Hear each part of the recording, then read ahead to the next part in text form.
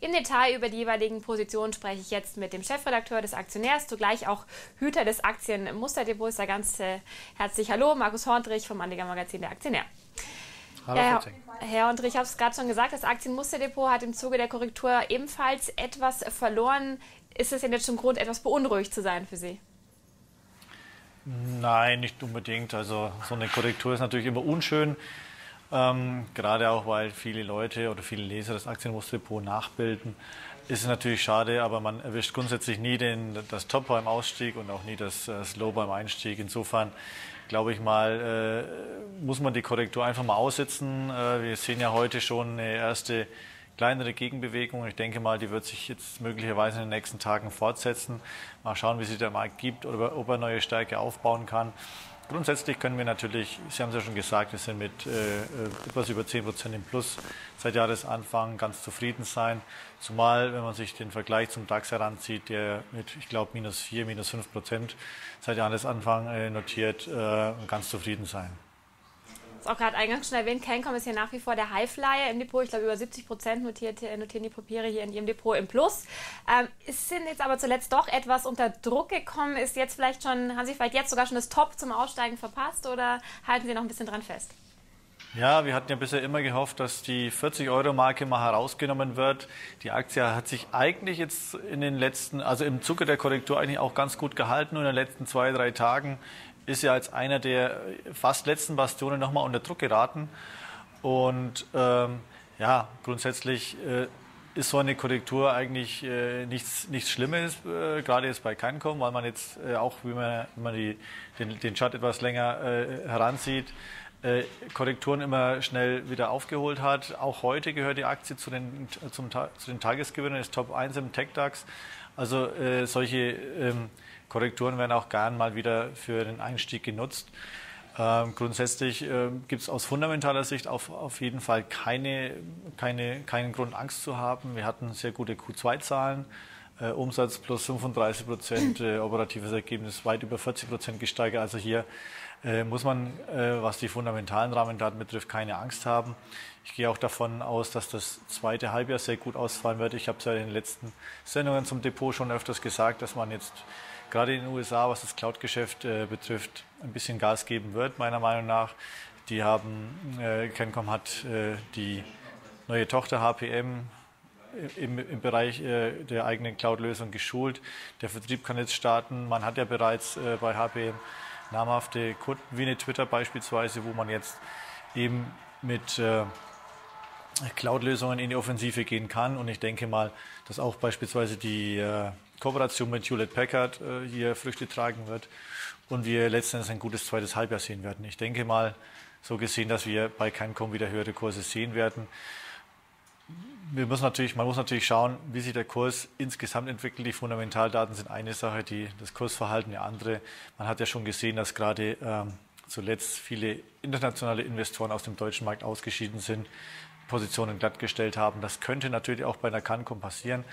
Und äh, wir haben den Stopp platziert. Wenn er gerissen wird, sind wir auch draußen aus der Position mit einem ordentlichen Gewinn. Und wenn nicht, lassen wir den Gewinn einfach laufen und äh, sehen oder hoffen, dass die 40-Euro-Marke in den nächsten Monaten, ich glaube Wochen braucht man erstmal nicht sagen, ähm, herausgenommen wird. Ich wollte gerade sagen, die 40-Euro-Marke haben wir in den Langfristcharts gesehen, da ist so ein bisschen der Deckel drauf, schon seit ein paar Monaten. Wer, wenn diese Marke rausgenommen wird, wäre das vielleicht auch nochmal ein Grund, noch ein bisschen zuzukaufen bei Cancom dann? Ja, wir haben sie schon relativ hoch gewichtet, deswegen würden wir es nicht machen, aber dieses Kaufsignal könnte man schon für eine Trading-Position dann, wenn man die Aktie zum Beispiel noch nicht hat, schon umsetzen. Bei Apple, da stehen die Kursampeln auch noch auf grün. Erst auch noch eine sehr starke Position in ihrem Depot. Korrekturspuren bislang äh, weit und breit nicht zu sehen. Kommt der Absturz hier vielleicht erst mit Verzögerung? Ach, ich denke, ich glaube eigentlich nicht. Also die Aktie hält sich ja im Rahmen der Korrektur, Sie haben es ja schon gesagt, äh, sehr gut. Die, kleine Schwäche, die wir gestern, vorgestern gesehen haben, äh, hat mehr damit zu tun, dass es neue Gerüchte gibt, dass das iPhone vielleicht etwas später kommt, das neue iPhone, iPhone 6. Äh, ja, grundsätzlich kann es sein, man wird sehen, der nächste Event, den man auf die Timeline gesetzt hat, ist Mitte September. Bis dahin muss man sich mit Sicherheit gedulden, was die Präsentation neuer Produkte betrifft. Ich kann mir gut vorstellen, dass man hier auf alle Fälle äh, zumindest einen Hinweis gibt, wenn es denn nicht veröffentlicht wird schon äh, oder auf den Markt kommt das iPhone. Also ich denke fast eher, dass es früher kommt als später, weil die ganzen Zulieferer schon eifrig daran sind, ähm, in Produktion zu gehen. Insofern glaube ich eher, dass äh, die, die Verzögerung nicht, nicht stattfindet. Unerheblich, unabhängig davon, die Steige der Aktie spricht ganz klar dafür. Wir haben mit den neuen Produkten ganz gute äh, einen ganz guten Trigger äh, für weiter steigende Kurse. Das, das Allzeithoch ist nicht mehr ganz so weit entfernt. Ich denke mal, dass wir ähm, eher neue Hochs sehen werden als äh, neue Tiefs bei der Aktie. Eine kleinere Korrektur will ich jetzt grundsätzlich nicht mal ausschließen, aber das wäre für mich eher nochmal die Chance zum Einstieg. Es gibt ja nicht nur die neuen Produkte als äh, ähm, ja, möglichen Kurstreiber, da gibt es viele andere Argumente, Aktienrückkäufe, die Dividende ist mittlerweile ähm, nicht ganz unerheblich. Also insofern glaube ich, dass wir weiterhin steigende Kurse sehen werden bei Apple. Also bei Apple, äh, Cancom und äh, was war es noch? Herr Hundrich, helfen Sie mir kurz. Ä Apple, Cancom und. Ja, wir haben noch VTG, ah, Aurelius, ah, ja, genau, die zwei, haben, da ist alles noch im grünen Bereich. Genau, jetzt müssen wir auch über die Sorgenkinder sprechen. Herr Hondrich, VTG, wie gesagt, fiel ja zuletzt unter 14 Euro, konnte sich jetzt aber auch wieder ein bisschen erholen. Ist hier vielleicht langsam mal der Zeitpunkt dann doch gekommen, dich zu verabschieden? Ja, die Schwäche ist durchaus etwas überraschend äh, und der Abrutsch in den letzten Tagen Schon bitter, ähm, zumal die Aktie auch erst äh, relativ frisch im, im Depot ist. Auch hier markttechnisch etwas angeschlagen, da muss ich Ihnen zustimmen. Ähm, wir haben auch bei 11 Euro unseren Stopp. Ähm, wird der gerissen, sind wir logischerweise draußen. Ähm, fundamental ist die Aktie, äh, war ja bei uns Top-Tipp spekulativ. Es gibt gute Gründe, warum die, die Aktie eigentlich steigen müsste. Die Fundamentaldaten sprechen auf, auf alle Fälle dafür. Man wird einen Gewinnsprung hinlegen können. Äh, Sie wissen ja, VTG vermietet ähm, äh, Tankcontainer beispielsweise für die, für die, für die Eisenbahn.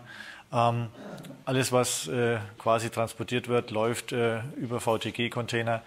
Und die werden in einem gewissen Zeitraum abgeschrieben, diese Abschreibungen, oder ein Großteil dieser Abschreibungen fällt weg. Daher wird die, äh, wird die Firma einen vernünftigen Gewinnsprung hinlegen.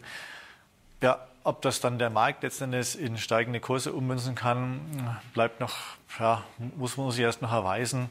Äh, grundsätzlich, ich glaube, das äh, niedrigste Kursniveau wäre eigentlich nochmal eine gute Chance zum Einstieg. Leider sind wir bei 16,20, glaube ich, eingestiegen, äh, haben jetzt äh, ja, 1,50, 2 Euro äh, draufgezahlt bisher, aber ja gut, das Jahr ist noch etwas länger. Ich denke mal, wir werden auch wieder bessere Kurse bei VTG sehen. Erfreuliches gab es hier von Aurelius zu vermelden und das auch gleich im Doppelpark. Mit der Schweizer Tochter Connectis hat man jetzt eine weitere Tochter verkauft. Zuletzt hat man ja eine ungarische Tochter verkauft. Ähm, die erwartete Sonderdividende, die dürfte dann nach diesem erneuten ja, Super-Deal dann noch üppiger ausfallen. Aber der Wert im Depot steigt trotzdem nicht so richtig. Was ist denn, was hemmt denn hier? Naja, die Meldungen kamen zu einem ziemlich schlechten Zeitpunkt ähm, mitten in der Marktkorrektur eigentlich zwei äh, eigentlich sensationelle Meldungen zu bringen, ist natürlich unglücklich in, ich sage mal, in einem, in einem normalen Marktumfeld, wäre die Aktie Richtung 30 gelaufen, würde ich mal schätzen. Ähm, ja, die, die Meldung an sich, äh, wie Sie schon sagten, äh, sind top. Äh, Nee, nee, die ungarische Tochter, die Sie angesprochen haben, dürfte man so mit 30, 35 Millionen Euro verkauft haben. Connectis mit, hat man ja schon gemeldet mit 40 Millionen Euro. Das heißt, dass man nochmal ja, 75, 80 Millionen Euro äh, erlöst hat jetzt im äh, Quartal. Das heißt natürlich, üblicherweise werden 50 Prozent der Erlöse ähm, ausgeschüttet. Sprich, es stünden ja, 30, 35 Millionen Euro zur Verfügung und damit, äh, wenn man dann die Basisdividende von 70 Cent, vielleicht wird sie sogar auf 80 Cent erhöht, äh, dann hinzurechnet, dann äh, lässt sich eine Dividendenrendite von 7 Prozent rund ähm, ermitteln. Also die Aktie wird mit Sicherheit auch für Dividendenjäger interessant und äh, man kann davon ausgehen, dass das ein oder andere die eine oder andere Beteiligung im Laufe des Jahres vielleicht noch verkauft wird. Also die, die Exit-Pipeline ist noch nicht ganz leer. Da, der ein oder andere Kandidat ist schon noch hier vorhanden. Und ich denke mal, ähm, dass hier vielleicht auch noch was kommt. Ja, wir sind auch gespannt, was da noch kommt. Sie werden uns sicherlich auf dem Laufenden halten, Herr Horndrich. Erstmal ganz herzlichen Dank fürs kleine Update zum Aktienmusterdepot und lassen Sie sich auch weiterhin hier nicht aus der Ruhe bringen. Bis zum nächsten Mal. Dankeschön, gerne.